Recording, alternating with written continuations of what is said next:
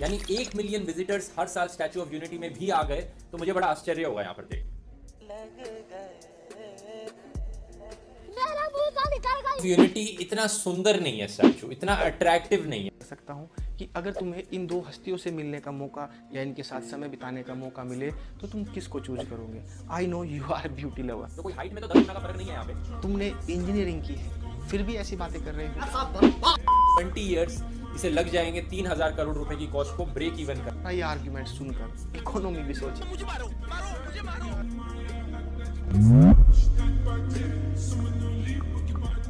नमस्कार दोस्तों मेरा नाम है डॉक्टर गौरव अवाना और आज की इस वीडियो में हम मिस्टर ध्रुव राठी द्वारा दिए गए कुछ आर्ग्यूमेंट्स का फैक्ट चेक और पोस्टमार्टम करने वाले हैं और देखेंगे कि उसके जो आर्ग्यूमेंट है किस तरह से सोफेस्ट्री है और वो किस तरह से लोगों को मिसगाइड करता है।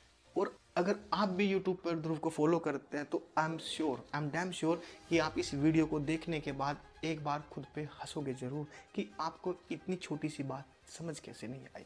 साल 2018 ध्रुव ने स्टैचू ऑफ़ यूनिटी को लेकर एक वीडियो अपलोड किया। अब आप कहेंगे कि मैं इतनी पुरानी बात क्यों कर रहा हूँ?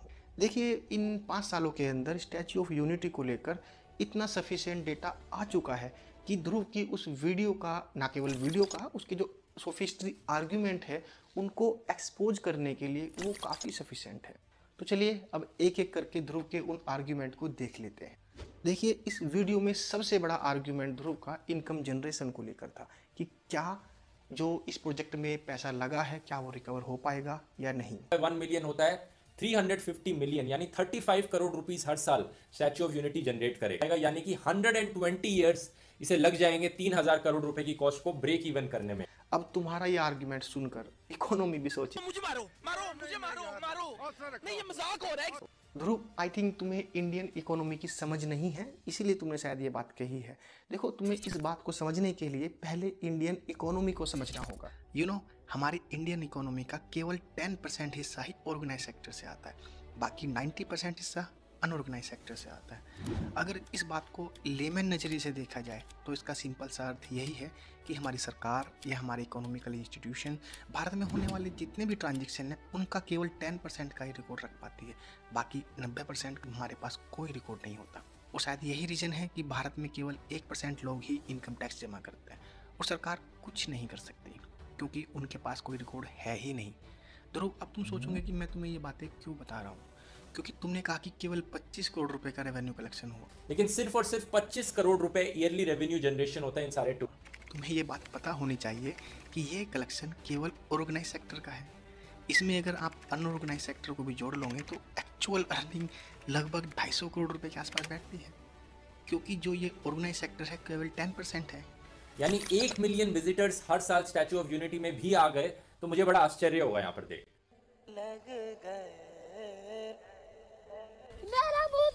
गई। दिसंबर 2022 में एक हफ़्ते के अंदर चार लाख लोगों ने स्टैचू ऑफ़ यूनिटी को विज़िट किया। अगर मैं इसे पूरे साल में कन्वर्ट करूँ तो अप्रोक्स 15 से तकरीबन 18 मिलियन लोगों के आसपास ये डेटा बैठता है। और तुमने क्या बोला था कि एक मिलियन भी मुश्किल से आएँगे? और अगर मैं इनकम जनरेशन की बात करूँ तो ऑर्गेनाइज और अनऑर्गेनाइज दोनों सेक्टर से कुल मिला के इससे इनकम जो जनरेट होगी वो तकरीबन 500 से 600 करोड़ रुपए के आसपास बैठेगी। इस हिसाब से तो जो 3000 करोड़ रुपए की अमाउंट इसे बनाने में लगी है वो छः से सात सालों में निकल आएगी। क्योंकि जो सरकार ने टैक्स का पैसा लगाया है वो सरकार की ट्रेजरी में वापस आना चाहिए। तभी यहाँ पे सही तरीके से रिटर्न ऑफ़ इन्वेस्टमेंट कैलकुलेट होगा। खैर बात इतनी आसान नहीं है। टूरिज़्म इकोनॉमी को शायद तुमने अभी समझा नहीं। स्विट्जरलैंड जैसे देश की पूरी इकोनॉमी टूरिज़्म पर टिकी है। और हाँ जिसे तुम बार बार अर्निंग अर्निंग बोल रहे हो, आखिर ये किसकी अर्निंग है? सरकार की?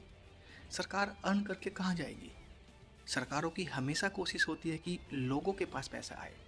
वही उसकी असली अर्निंग है। चलो, एक एग्ज़ाम्पल देके बताता हूँ। यू नो रसिया का ट्रांस साइबेरियन रेलवे लगभग 9000 किलोमीटर लंबा है। लेकिन ये रेलवे हमेशा नुकसान में चलता है। वाई लेकिन इससे रसिया को होने वाले सोशल बेनिफिट बहुत ज़्यादा है। यू नो चाइना और जापान के अंदर बुलेट ट्रेन हमेशा नुकसान में चलती हैं, लेकिन उससे समाज को होने वाले फ़ायदे उस नुकसान से बहुत ज़्यादा बड़े हैं। क्योंकि वहाँ की जनता जॉब के लिए 300 से 400 किलोमीटर तक भी अप डाउन कर लेती है। इसी वजह से उनका इकोनॉमिकल स्केल बहुत तेज़ी के साथ बढ़ा है।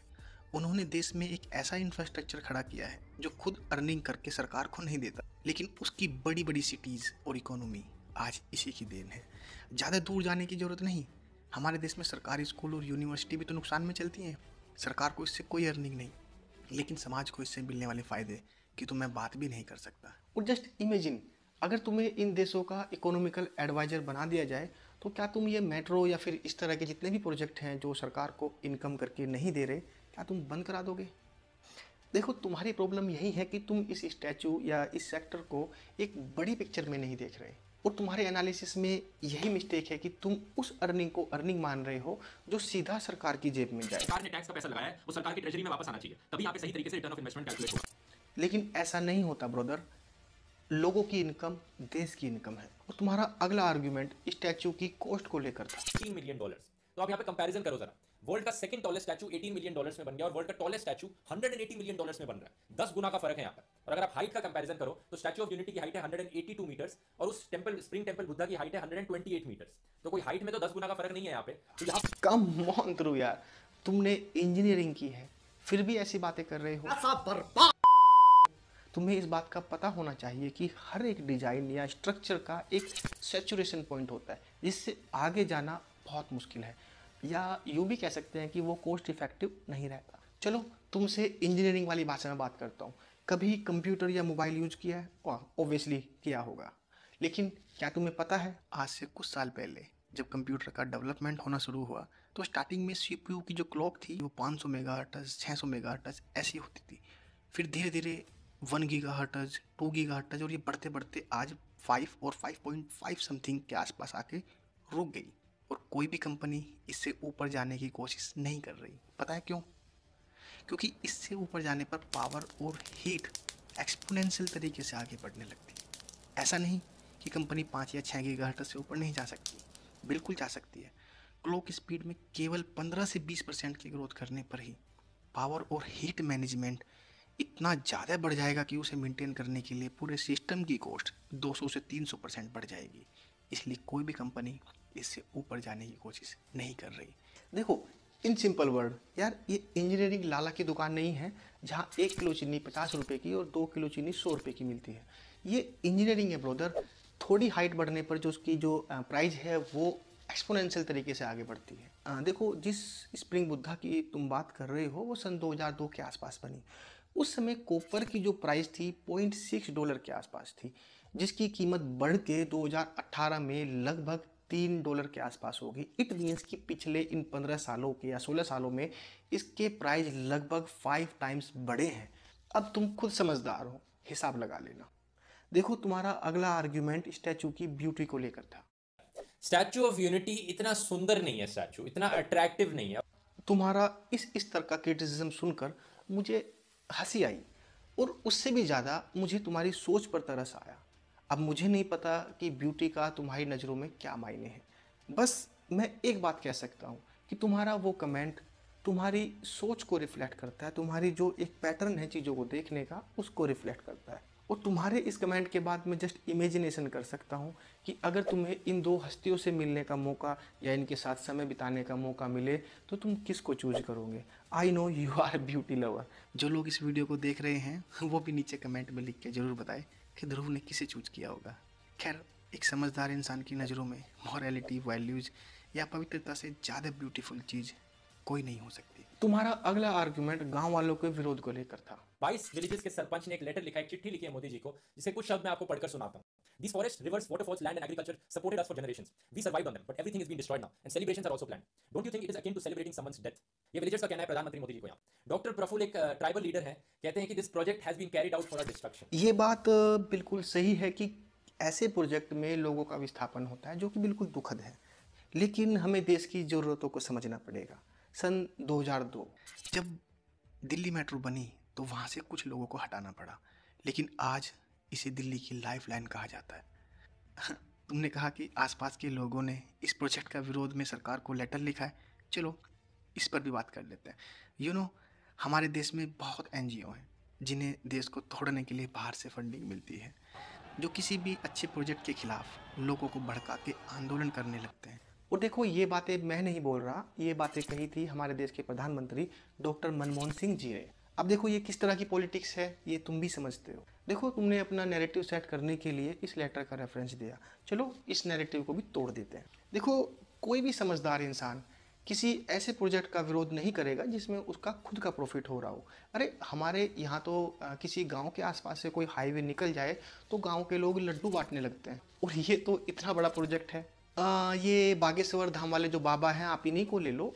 इनकी वजह से जो इनके आसपास के डिस्ट्रिक्ट हैं उनका प्राइस जो है वो आसमान छूने लगा है। और जो धाम के आसपास के जो गाँव हैं उनकी कीमतों में जो उछाल आया है उसके बारे में तो मैं बात ही नहीं कर रहा। एक छोटी छोटी दुकानों का जो किराया है गाँवों के अंदर वो एक लाख से ऊपर चला गया है। Can you imagine just you can check it और तुम्हारा फाइनल आर्ग्यूमेंट पॉलिटिक्स को लेकर था कि बीजेपी इस स्टैचू का पॉलिटिकल बेनिफिट लेने की कोशिश कर रही है। पॉलिटिक्स और प्राइड एक ऐसा एस्पेक्ट रह जाता है जो मुझे लगता है सबसे इंपॉर्टेंट रीजन था स्टैचू को बनाने का और पॉलिटिक्स खेलने का एक नया तरीका है।